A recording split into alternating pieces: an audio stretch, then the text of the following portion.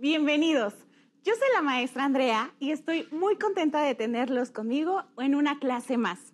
El día de hoy vamos a aprender el tema Tiene forma de... Te cuento que... Como que todavía traigo un poquito de sueño.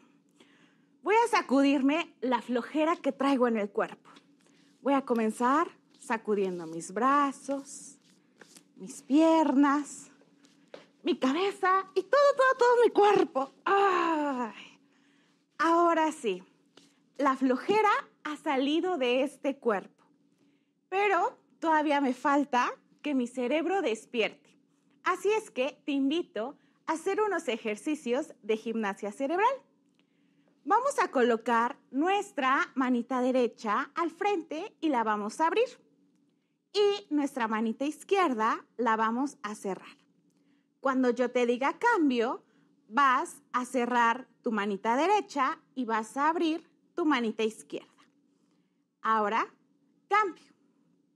Una vez más, cambio, cambio, cambio, más rápido, cambio, cambio, cambio, cambio, cambio, cambio, cambio, cambio, cambio. Muy bien. Apuesto que en casita lo has hecho excelente. Vamos con uno más difícil. ¿Te parece? Vas a colocar tu manita derecha en tu nariz y tu manita izquierda en tu oreja derecha. Cuando yo te diga cambio, vas a cambiar tu manita, la vas a pasar a la oreja y la manita que tenías en la oreja la vas a pasar a tu nariz. Cambio, cambio, más rápido. Muy bien, apuesto que tú en casa sí lo has logrado.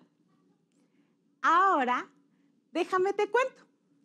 Cuando venía de camino aquí a nuestro salón de clases, venía poniendo mucha atención a todo lo que hay a nuestro alrededor.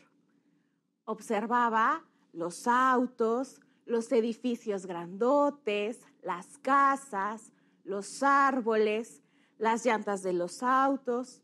Venía observando todo y me di cuenta de que todo tiene forma de figuras geométricas.